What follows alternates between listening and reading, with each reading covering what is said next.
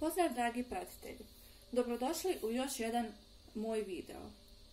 Ovo je pet velikih grešaka koje svi radimo kada usisavamo. Usisavanje nije velika znanost, ali svi mi dok usisavamo radimo neke propuste zbog kojih nam dom nije maksimalno dobro usisan.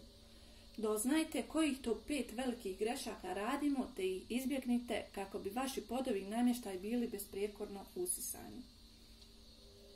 Prvi je čekamo da se vrećica usisivača potpuno napuni. Neki usisivači imaju indikator koji pokazuje koliko je vrećica puna, ali najbolje je da sami provjeravate stanje i zamijenite vrećicu kada je 3 četvrt puna. Na taj način usisivač će uvijek jako vući. Koristite li usisivač bez vrećice, ne zaboravite očistiti dijelove na kojima se skuplja prljavština. Usisavamo sa prljavim filterom. Usisavanjem nećete učinkovito ukloniti alergene ako je filter pun prljavštine. Filter nije potpuno potrebno mijenjati često koliko i vrećicu, ali ako izgleda istrošeno ili je jako prljav ili pokidan, vrijeme je da ga zamijenite. Ne koristimo priključke za usisivač.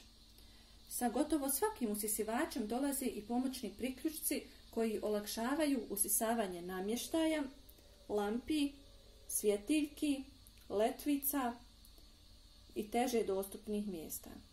Nemojte da vam ti vrijedni pomagači samo stoje neiskorišteni i skupljaju prašinu, već ih maksimalno iskoristite.